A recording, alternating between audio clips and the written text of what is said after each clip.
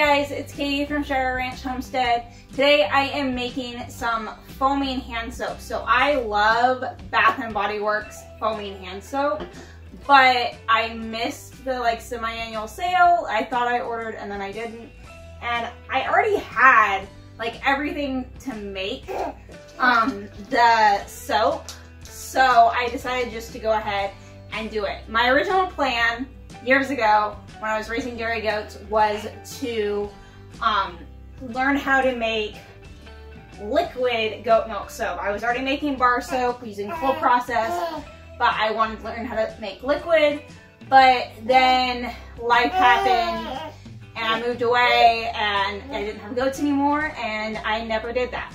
So I decided, even though I'm not making my own liquid soap, I would go ahead and buy some Dr. Bronner's and use that to make my own foaming liquid hand soap, just like you get from Bath & Body Works, or at least that's what I'm hoping. So I have an old bottle of Bath & Body Works um, foaming hand soap, and I have a brand new bottle um, that's never been used. So I'm gonna make soap using both bottles and see how it turns out. So I'm gonna start with the old um, Bath and Body Works one. And first I add my soap. So I'm gonna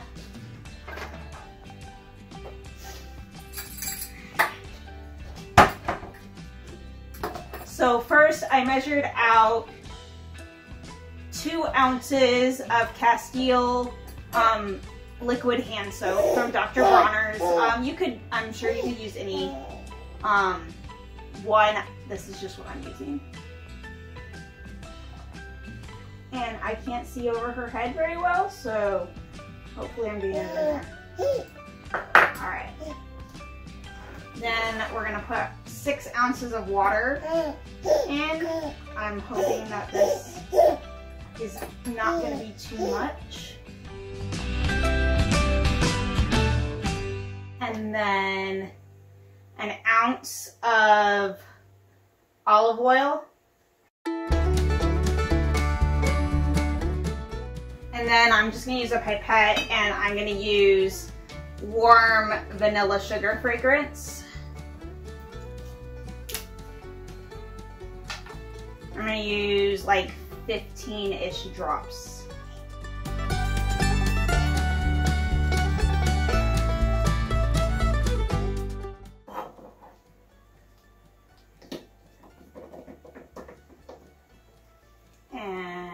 I'll lock it and then I'll shake it.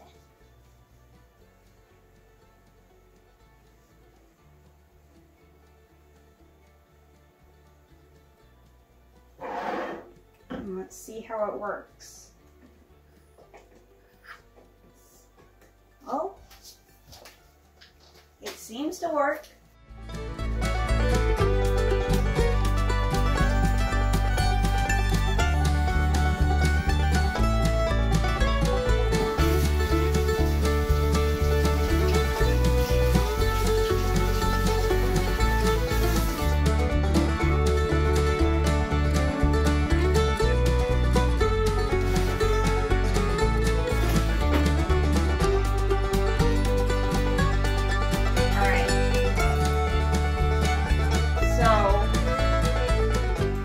We got one down. I didn't bother taking off the uh, thing, but this should work.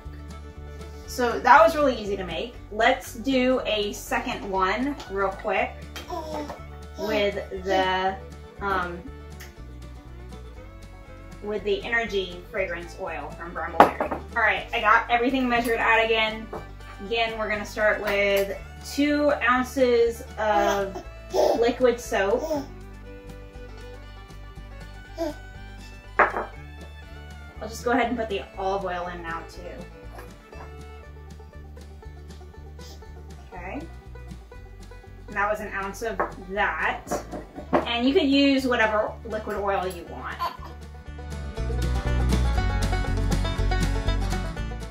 And this time I'm using a citrusy fragrance. And like 15 to 30 drops.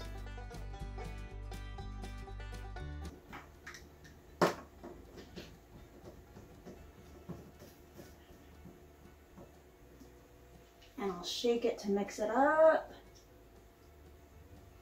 And unlock it.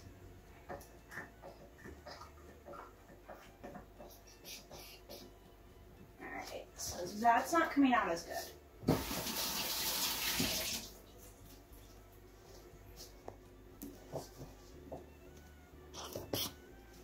That's a little bit better.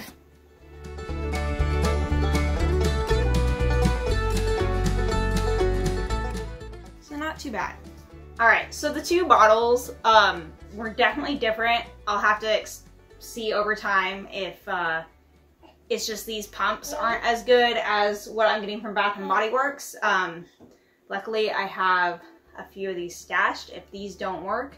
If these don't work, I have a bunch of them and I'm just gonna get rid of them if they don't work.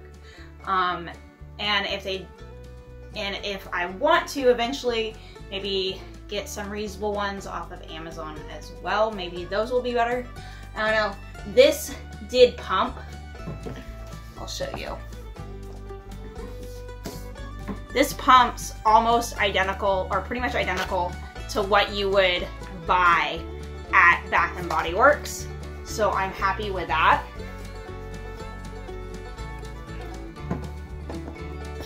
And actually this one is doing a bit better now too. So um, it just probably needed to be primed. So I think this was a great idea um, going ahead and making these liquid soaps. And as you can see, like, I think this was like 12 bucks for this whole bottle.